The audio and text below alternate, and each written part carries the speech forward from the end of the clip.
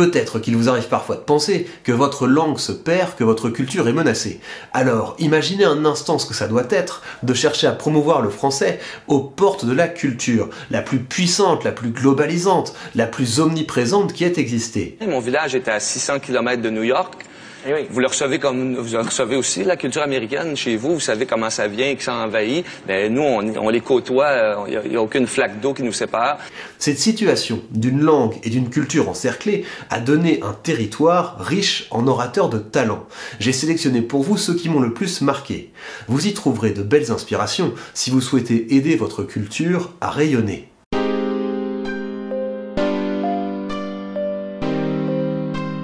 Comme toujours avec les tops, choisir, c'est renoncer. Il y a donc beaucoup d'autres orateurs qui auraient mérité leur place, notamment lui. Voilà Voilà Et voilà As-tu vu? As-tu vu, canaille Je plaisante. Par contre, lui, Est-ce que c'est un jeu ou est-ce que le roi Enoch est un vrai gangster? Est-ce que c'est un personnage? Le roi Enoch n'essaie de plus être un gangster, pour être un homme d'affaires à temps plein et laisser euh, les grille-pains et tu vois ce que je veux dire, qui sont remplis de tranches de côté. Plus sérieusement, je vous invite à compléter mon classement des orateurs et des oratrices que vous jugez remarquables. Avant de vous présenter mes choix, je voudrais qu'on précise une chose. Pourquoi y a-t-il des francophones au Canada? Et comme nous sommes partis sur un top 4, je voudrais vous donner 4 dates importantes de l'histoire du Québec. C'est la date à laquelle le navigateur Jacques Cartier pose le pied sur la terre qui deviendra le Québec. Un peu comme Christophe Colomb, il ne cherchait pas particulièrement à aller là, François Ier l'avait envoyé chercher une route vers l'Inde, en tâchant au passage de découvrir des terres avec des épices, de l'or et de la soie. Quelques décennies plus tard, Samuel de Champlain fonde la ville de Québec, ce sera le début de la Nouvelle-France. C'est la date à laquelle le Québec passe sous régime anglais suite à la défaite de la France dans la guerre de 7 ans. Le projet est alors d'assimiler les catholiques francophones qui peuplent le territoire pour en faire de braves protestants anglophones, mais ça ne fonctionne pas bien, notamment parce que le territoire est peu hospitalier au plan climatique et que les colons anglais préfèrent s'installer dans les territoires de langue et de culture anglaise. C'est la date de fondation d'un Canada qui ressemble à ce qu'on connaît aujourd'hui. Les différentes tentatives d'assimilation des francophones ont échoué. Ils obtiennent une majorité politique dans leur province et des outils pour défendre leur langue et leur culture. C'est la date à laquelle ce drapeau est adopté par le Québec sous le gouvernement de Maurice Duplessis. À la veille de la période qui va nous intéresser, le Canada a su surmonter ses divisions intérieures, s'affirmer vis-à-vis de l'extérieur et instaurer une relation plutôt harmonieuse entre ses provinces. Mais les choses vont à nouveau s'agiter. En quatrième position, Lucien Bouchard. Oui, le Canada respectera le Québec, comme il respecte tous les autres peuples souverains. Les liens économiques très étroits avec le Québec le forceront à s'asseoir et à discuter. Désormais, le Québec n'aura plus besoin de crier. Il n'aura qu'à parler, calmement, mais avec assurance, pour se faire entendre. Il fut l'un des principaux acteurs de la campagne du second référendum pour la souveraineté du Québec en 1995, le premier ayant eu lieu en 1980. À quelques jours du scrutin, le Premier ministre Jean Chrétien s'adresse à la nation pour mettre en garde les électeurs. Certains s'apprêtent à dire oui parce qu'ils pensent qu'ils auront un meilleur rapport de force pour renégocier un partenariat économique et politique avec le Canada. Je veux le répéter encore une fois qu'ils se trompent. Un oui mène à la destruction irréversible de l'union économique et politique que nous avons actuellement. Et j'ai aussi entendu la voix du changement qui s'élève du Québec et de partout partout au Canada. Lucien Bouchard réplique en expliquant que les fédéralistes avaient tenu exactement le même discours lors du premier référendum avant de se renier. Tous se rappellent ce triste épisode de l'histoire du Québec et du Canada. Ces supposés alliés qui, au mépris de leur signature, allèrent, la nuit, trouver Jean Chrétien dans un hôtel d'Ottawa pour consommer avec lui le pacte qui isola le Québec et l'expulsa de la famille constitutionnelle canadienne. Mais l'issue du scrutin fut cruelle pour son camp, une défaite à 50 000 voix près. Chers amis, reconnaissons que la démocratie a parlé. Et la démocratie, la démocratie, la démocratie, il faut se le rappeler ce soir, la démocratie est le fondement de tout. Lucien Bouchard, c'est aussi quelqu'un qui a une solide culture rhétorique et une réflexion intéressante sur l'avenir du discours politique. Ainsi, en 2009, à la question d'un journaliste qui lui demandait si l'art oratoire se perdait, il répondit Les politiciens prononcent trop de discours, on parle tout le temps, on est toujours dans le salon des gens avec la télé, on nous donne 10 secondes pour nous exprimer, alors qu'autrefois les gens parlaient moins souvent, mais plus longtemps. Une des causes de la chute de la faveur populaire, c'est que les politiciens sont trop là, trop souvent, trop petits, et on exige même qu'ils aillent faire des émissions de Lucien Bouchard appartient à cette dernière génération d'hommes politiques qui parlaient moins mais mieux. Et son meilleur discours est peut-être le discours qu'il aurait prononcé si son camp l'avait emporté. Que de fleuves et de rivières remontées, de terres explorées, de forêts défrichées, de sols labourés, d'usines érigées, de villes et villages construits, de coups de cœur, d'actes de raison, que de sacrifices consentis et d'inquiétudes surmontées, que de constance dans ce parcours obstiné. Il sera dit des Québécoises et des Québécois qui ont participé au scrutin d'aujourd'hui qu'ils ont franchi les derniers pas de cet itinéraire. Ceci dit, ce n'est pas lors du second référendum, mais bien lors du premier que les orateurs ont le plus brillé. Mais avant d'y venir, changeons de domaine. En troisième position, Michel Lalonde, une essayiste québécoise, notamment connue pour ce poème. Speak White. Il est si beau de vous entendre parler de Paradise Lost ou du profil gracieux et anonyme qui tremble dans les sonnets de Shakespeare. Nous sommes un peuple inculte et bègue, mais ne sommes pas sourds au génie d'une langue. Parlez avec l'accent de Milton et Byron et Shelley et Keats. Speak white. Pourquoi Speak White? Il s'agit d'une injonction qui était utilisée par les esclavagistes du sud des États-Unis pour dire à leurs esclaves de parler comme leur maître. Et cette expression fut ensuite utilisée par certains Canadiens anglophones à l'égard des francophones. L'éloquence de Michel Lalonde se nourrit de cette injustice. Mais quand vous really speak white, quand vous get down to brass tacks pour parler du gracious living et parler du standard de vie et de la grande société, un peu plus fort alors, Speak White. Haussez vos voix de contremaître. Nous sommes un peu durs d'oreille. Nous vivons trop près des machines et n'entendons que notre souffle au-dessus des outils. Mais si j'ai choisi de retenir Michel Lalonde, c'est aussi parce qu'elle a bien compris ce qu'on devait faire quand on voulait lancer un mouvement. Nous devons faire un manifeste. Ainsi, en 1979, c'est-à-dire un an avant le référendum, Michel Lalonde publiait un essai intitulé Défense et illustration de la langue québécoise, dont voici un extrait. De la difficulté de s'exprimer dans la langue à sa mère. Y a-t-il donc une langue québécoise, ou québécoise, ou québécoise, distincte de la française, comme celle-ci l'était naguère du latin, et dans laquelle je puisse m'exprimer? D'aucuns, aussi prompts à trancher cette question que l'an a tranché le cordon ombilical qui les relie à la mère patrie, soutiennent péremptoirement que non, et qualifient de barbare et impure la parlure de notre vulgaire, qu'il faudrait châtier sans pitié comme une façon tout au plus de parler ineptement le français. D'autres, au nombril moins sensible, affirment tout au contraire que oui, et m'incitent à switcher sans tarder de langage. Le français, disent-ils, c'est définitivement out. C'est le québécois qui est désormais le way out. Il n'est pour s'en convaincre que le watché évolue au grand galop vers une autre langue, la syntaxe de laquelle mérite qu'on se batte pour et qu'on s'enorgueillisse d'eux si l'on ne veut pas passer pour un square en Amérique. Au premier qui qualifie la à ma mère de barbare et d'impur, je me bornerai pour l'instant à faire remarquer qu'ils insultent ma famille, et qu'à trop admirer le bon parler, ils en viennent à mépriser inconsciemment les bonnes gens qui parlent. Elle s'inscrit donc avec ce texte satirique dans les pas de Joachim du Bellay, qui, fatigué de voir les lettrés déserter le français au profit du latin, incita les poètes de son temps à se réemparer de leur langue. Le résultat, ce fut le mouvement de la Pléiade, un des sommets de la culture française. Et quelque chose me dit que le combat de Michel Lalonde ne fut pas tout à fait vain.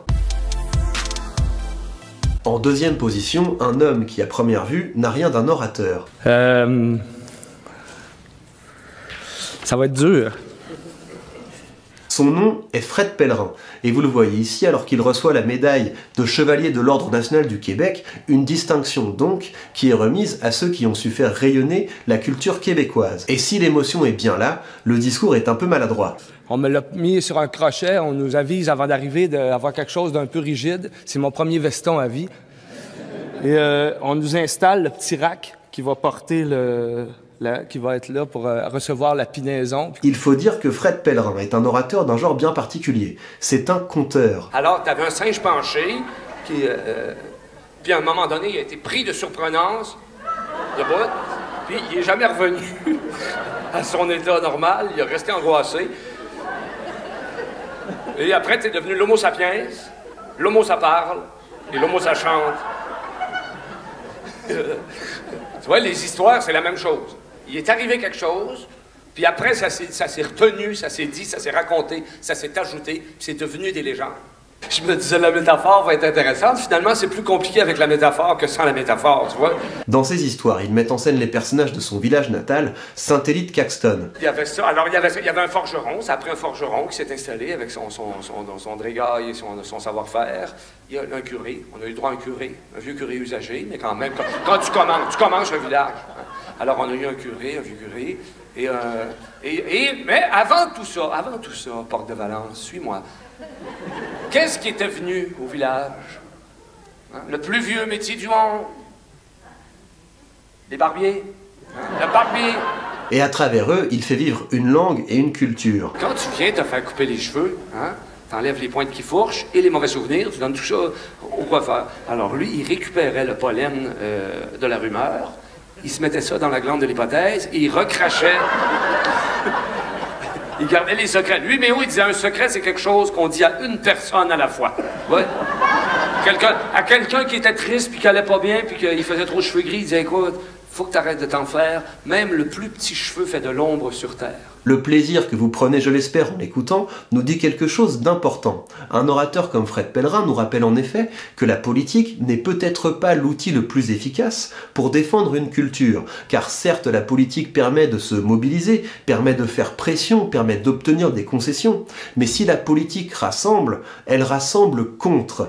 Or, le meilleur moyen de défendre sa culture est peut-être au contraire de chercher à la rendre plus désirable pour un plus grand nombre de personnes. Il semble que Fred Pellerin y parvienne. Ce qui est très intéressant dans votre démarche, c'est que c'est véritablement le pouvoir de la langue. C'est-à-dire que on a une scène vide, vous au milieu, et ce flot de paroles qui vient nous raconter quelque chose. Vous arrivez quand même à intéresser un public euh, avec une bonne sœur chauve euh, et un arbre à tic-tac. Mais revenons maintenant à la politique. En première position, j'aurais pu choisir René Lévesque. Il y a des gens chez nous qui en sont venus à vomir tous les partis politiques, qui n'y croient absolument plus. Le premier chef donc du Parti québécois, parti à l'origine du premier référendum sur la souveraineté. Il présente en effet de belles qualités d'orateur, à commencer par le fait que c'est un excellent pédagogue. Et la nationalisation, c'est simplement de ramener dans le Québec la propriété entre les mains de 5 300 000 actionnaires, c'est-à-dire nous tous, la propriété de notre électricité. Alors pourquoi est-ce que c'est nécessaire, ça? Pourquoi est-ce que c'est nécessaire pour le présent et l'avenir économique du Québec? Bien, première chose, je crois qu'il faut savoir, c'est que l'électricité, c'est notre seule source d'énergie québécoise. Mais il est assez mauvais tribun. Je pense que.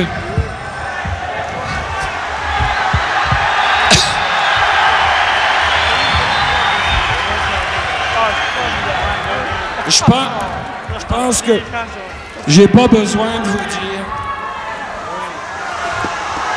J'ai. Je pense, je pense que j'ai pas besoin de vous dire à quel point je suis incapable en ce moment de faire un commentaire. Surtout si on le compare à cet homme. Je pense que nous avons le devoir de ne rien cacher à la population de ce que nous croyons nécessaire et vrai. Combien de fois reculons-nous devant l'exposé de notre programme parce que nous nous disons que tel ou tel article peut effrayer les gens? À nous de convaincre les gens que cela est nécessaire et vrai.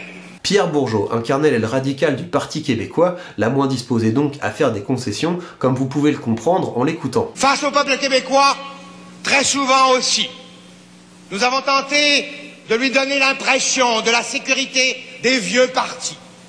Bien sûr que voter pour le Parti libéral ou pour l'Union nationale, c'est la sécurité. Et combien de fois n'avons-nous pas tenté de prouver au peuple québécois qu'avec nous aussi c'était la sécurité? Alors qu'avec nous, si nous sommes sérieux dans ce que nous avançons, nous savons bien sûr qu'il y a un peu moins de sécurité et pas mal plus de liberté. À ce stade, je dois faire une précision, parce que ma sélection pourrait laisser penser que j'ai un biais en faveur de l'autonomie du Québec. Alors, c'est vrai que j'ai de la sympathie pour les gens qui défendent le français, mais je me garderais bien d'avancer un avis sur la situation politique canadienne. Donc, ce que je veux plutôt montrer avec cette sélection, c'est que l'éloquence la plus puissante est celle qui va contre le statu quo. Et si donc on se remet dans le cadre canadien, c'est beaucoup plus difficile de faire un discours enflammé en faveur du fédéralisme qu'en faveur de l'autonomie. Baser un discours sur le compromis, c'est comme chercher à prendre de l'élan sur un terrain en guimauve. On le sent par exemple dans le discours du Premier ministre Pierre Elliott Trudeau lors de cette même campagne. Nous mettons notre tête en jeu, nous, députés québécois, parce que nous le disons aux Québécois de voter non.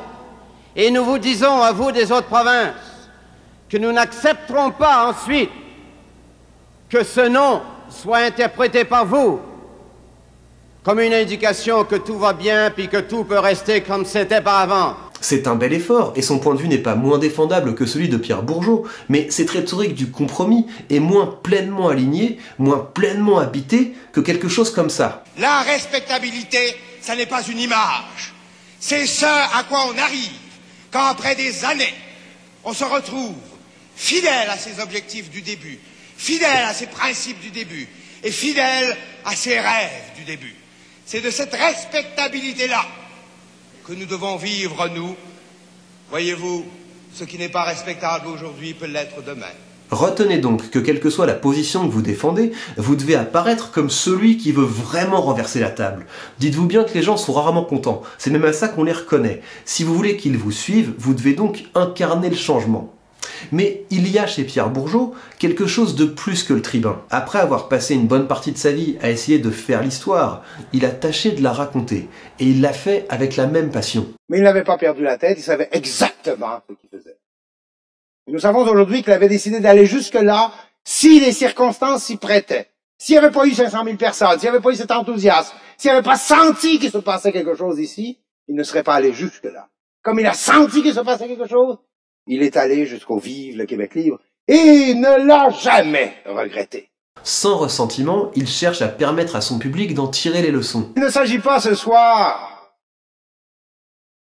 de nous rappeler simplement nostalgiquement ce qui s'est passé pendant ces années-là.